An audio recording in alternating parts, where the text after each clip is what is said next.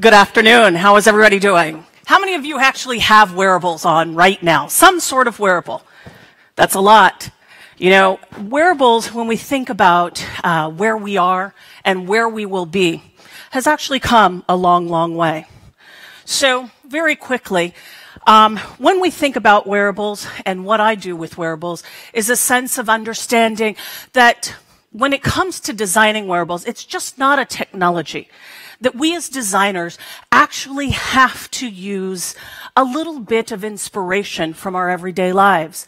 For me, that inspiration comes from reading fiction and science fiction and understanding that the potential of wearables is actually to elevate the human experience. And that human experience could be something as simple as putting a wristwatch on your uh, wrist to give you superhuman powers. And so, how many of you would like to have superhuman powers? Anybody? Me too. so I am a believer in magic, and that magic for me is understanding that it is our responsibility as designers to create enchanting experiences. And in order to do that, we have an opportunity with wearables and sensors. Um, one of my favorite fashion designers happens to be Oscar de la Renta. And he once said that fashion is about dressing according to what is fashionable. But style is more about being yourself. Being yourself in a world of data where we leave fingerprints across the earth all the time, really trails of ourself, if you think about it that way. Um, and when you collide that with fashion and clothing, what that does is actually elevate the fashion experience. And so if you think about our clothing, it has always been a second skin. Um, that second skin has produced uh, information around who we are and the places and the places and needs of what we want to be and what we want to be perceived as. So, the reality is around this second skin is that one of the things that we're seeing uh, come closer and closer and closer is the fact that is a personal piece of data, right? So for those of us that are wearing, we are emulating data all the time. Um, and when you think about how far we have come, we have actually gone from the early 1990s, where wearables were haute couture, right, for the digerati. I mean, wearables didn't just come on the scene or explode at CES this past year. It is something that has been growing and growing and growing since the 1990s.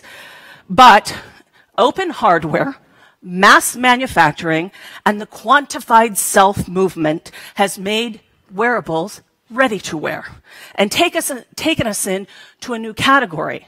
And it is having profound um, impact on businesses and industry. So it isn't just your personal self and the quantified self. Now you have to understand that when you are in wearables, you are in connected spaces and it is impacting entertainment, health and wellness, security and access, financial services, fashion, and retail. So today, what I'm going to share with you is the impact of how wearables is come to these categories, beginning with entertainment.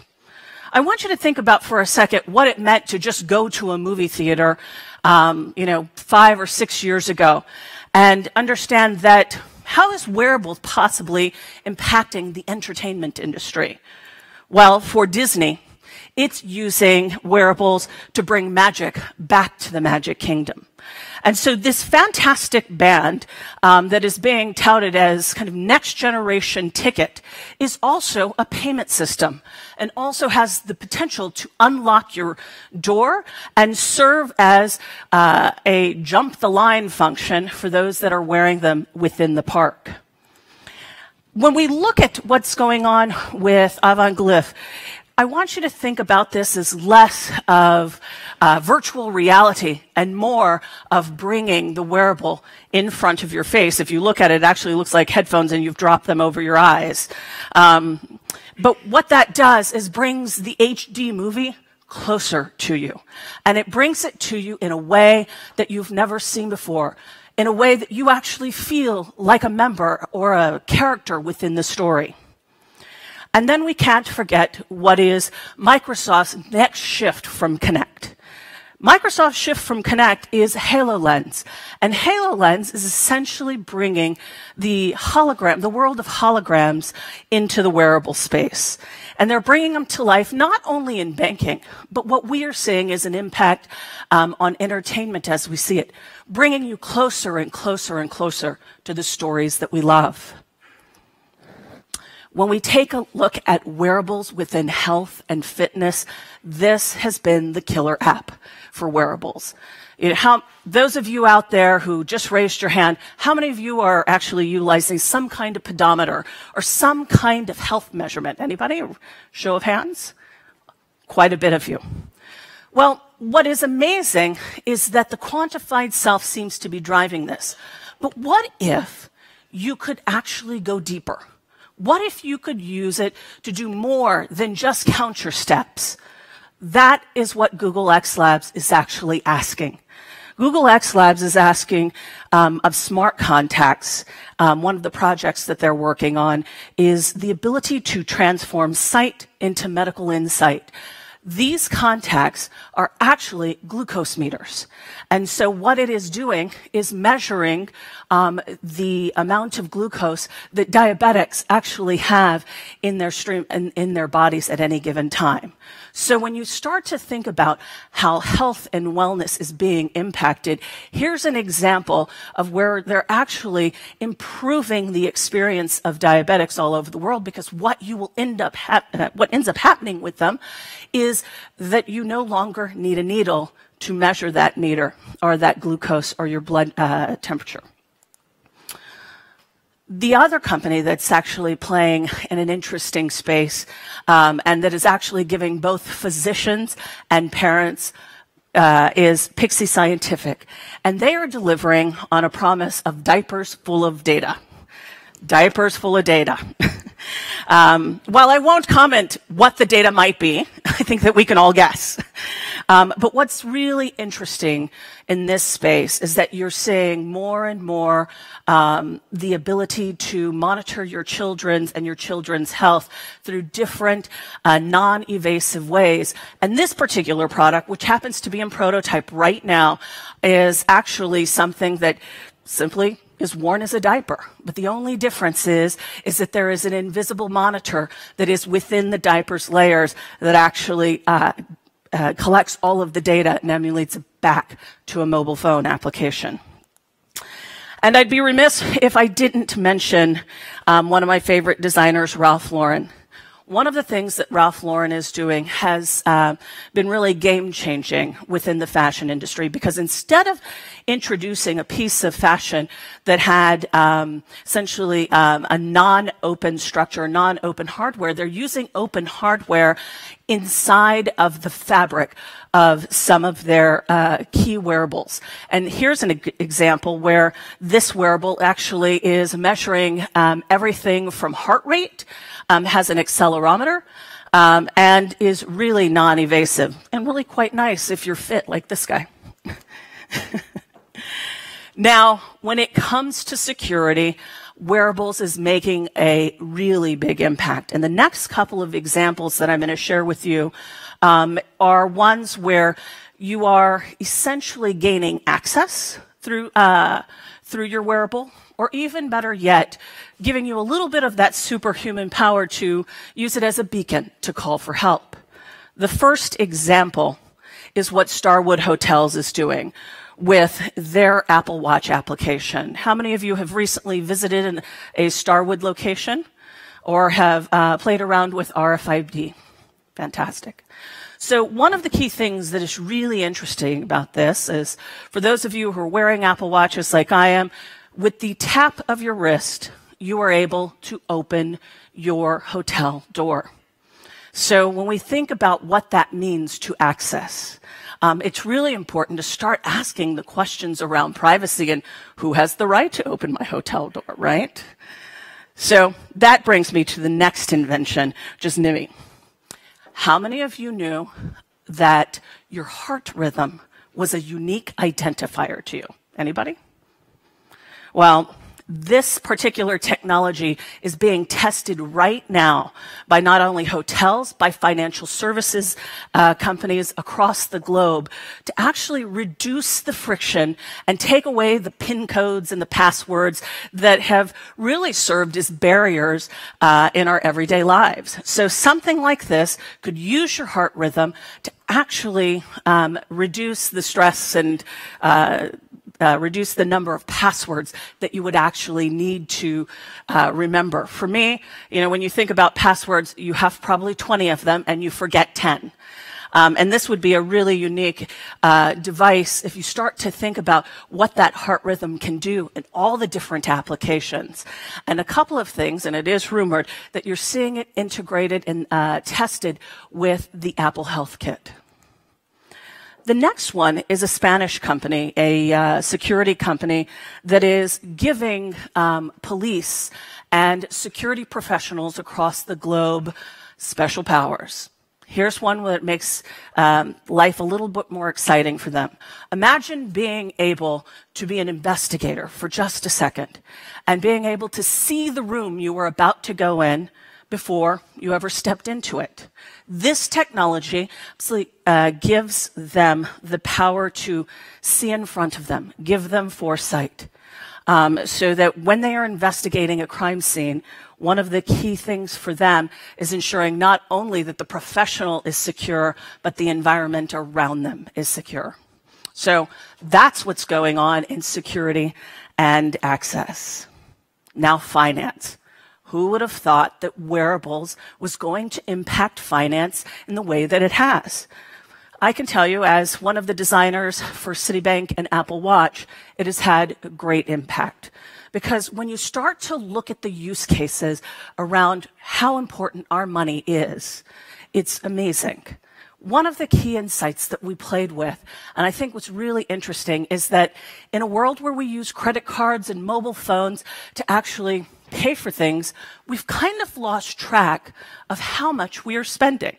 How many of you actually still use cash on an everyday basis? Just a show of hands. Less and less. now, when you think about that, the less you use cash, it was really easy. You would count it out. 100, 200. Oh, wow, that bag's very expensive. And you weren't necessarily as mindful about what you were spending on. Now, with wearables, what we have the opportunity to do is not only alert you when your credit card is being used, but actually be a catalyst for progress, which is where the Citi brand has always been around. And that catalyst for progress is if I'm sitting in a store and I want to charge something to my credit card, all I have to do is look at my wrist and look for the glance.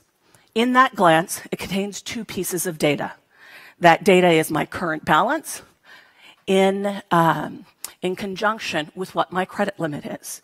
And so what it does is gives you a mindfulness to your money. And so that has been impacted uh, and impacted over a million uh, users of the Citi mobile app. Now, Oscar is a new insurance company within the United States. And Oscar is really touting itself as a tech forward insurance company, which you kind of have to chuckle for a second. Insurance companies have not always been known as technology companies. But the real key to this is understanding that they are incentivizing behavior and paying people to walk more. And so that is a game changer application within the financial services space. And now fashionable tech. You know, we talked about it going from haute couture into ready to wear. Well, Francesca Rosella and Ryan Genz also believe that they can actually um, get you to update your status as you are doing the walkway. Um, and let's not forget Rebecca Minkoff and Stelle Audio creating the clutch speakers, um, or one of my favorites, which is the cuff the cuff actually is a piece of jewelry that actually demands your attention. And that attention, you know, for me was, God, that looks like Wonder Woman's cuffs. Wouldn't it be fantastic if you could actually communicate with those cuffs? And the reality is you can. So a couple of things to think about with wearables. First and foremost, there's an inherent tension in wearable tech.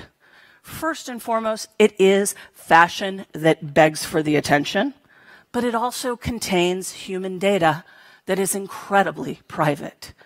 So, as designers, one of the things that you have to think about is effortlessly balancing our behavior with privacy.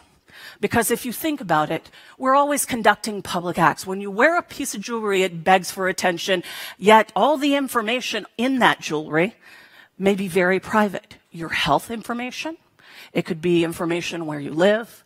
Um, and so when you think about all of that personal data, there is a bit of a balancing act. And so one of the things that we implore uh, our designers to do is think beyond the visual. Well, you know, when you look at designing for privacy, visual is important, as you saw in some of the examples. You know, I think there is an opportunity to dare you to actually use the rest of your senses for things like alerts, notifications, haptics, hearing, taste, touch, smell. These are all the potential that wearable tech actually brings to us.